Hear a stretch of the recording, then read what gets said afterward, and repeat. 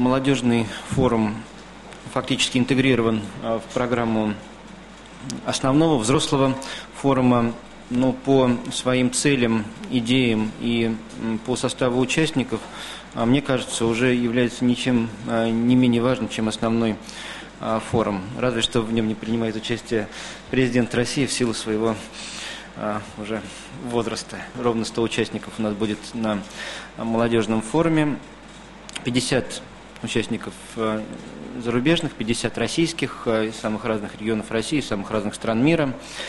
Э, в основном это молодые предприниматели, студенты ведущих университетов мира. Скажем так, основные темы находятся вокруг главной темы форума Breaking the Walls. Это тема разрушения стен, которые существуют между людьми, между разными странами, между разными культурами, между разными традициями. Это тема предпринимательской культуры э, в инновационной деятельности, э, тема гражданского лидерства, тема влияния ценностей на изменения, которые происходят в мире, э, тема «Что будет после нефти?», что, какие у нас источники энергии есть, кроме нефти, тема спорта и здорового образа жизни. И, наконец, тема э, глобальных э, россиян.